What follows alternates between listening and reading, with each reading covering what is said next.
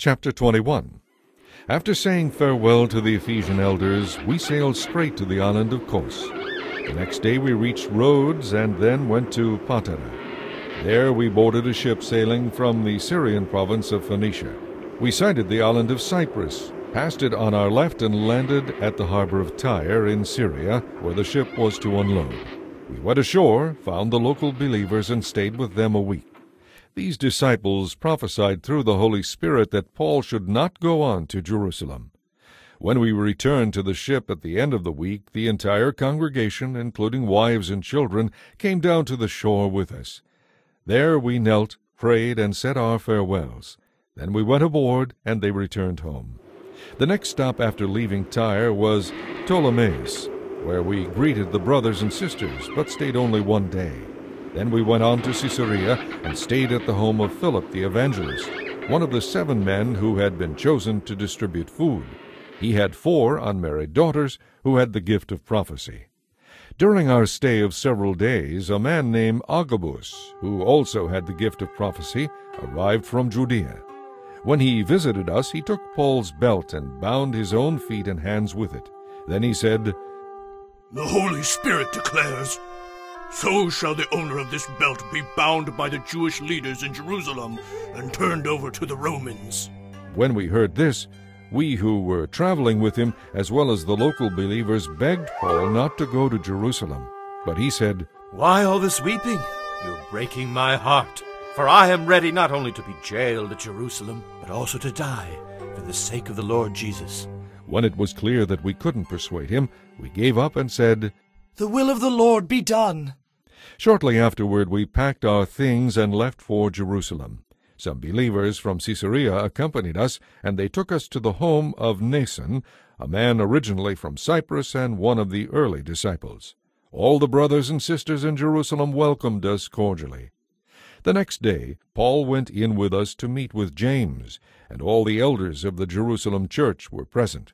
After greetings were exchanged, Paul gave a detailed account of the things God had accomplished among the Gentiles through his ministry.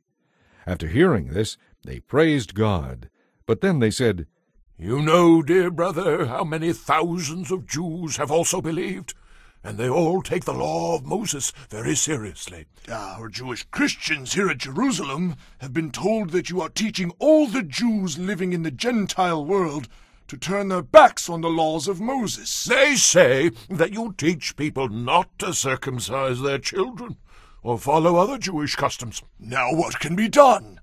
For they will certainly hear that you have come. Here's our suggestion.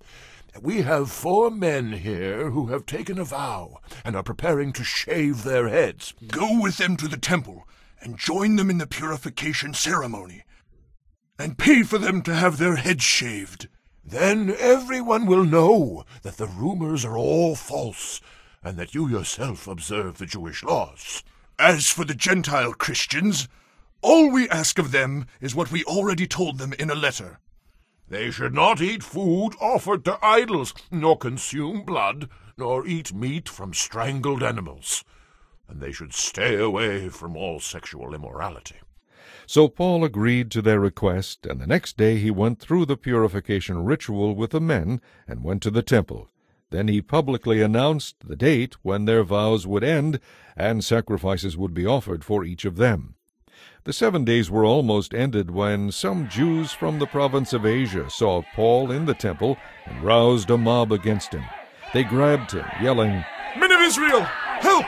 This is the man who teaches against our people and tells everybody to disobey the Jewish laws. He speaks against the temple, and he even defiles it by bringing Gentiles in. For earlier that day they had seen him in the city with Trophimus, a Gentile from Ephesus, and they assumed Paul had taken him into the temple. The whole population of the city was rocked by these accusations, and a great riot followed. Paul was dragged out of the temple, and immediately the gates were closed behind him. As they were trying to kill him, word reached the commander of the Roman regiment that all Jerusalem was in an uproar. He immediately called out his soldiers and officers and ran down among the crowd. When the mob saw the commander and the troops coming, they stopped beating Paul. The commander arrested him and ordered him bound with two chains. Then he asked the crowd who he was and what he had done. Some shouted one thing and some another. He couldn't find out the truth in all the uproar and confusion, so he ordered Paul to be taken to the fortress.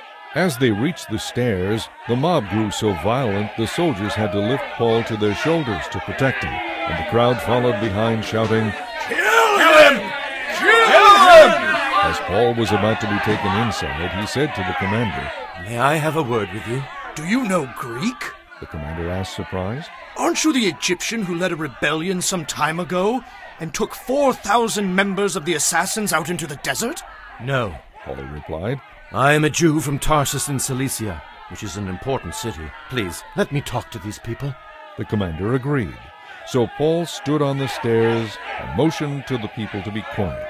Soon a deep silence enveloped the crowd, and he addressed them in their own language, Aramaic.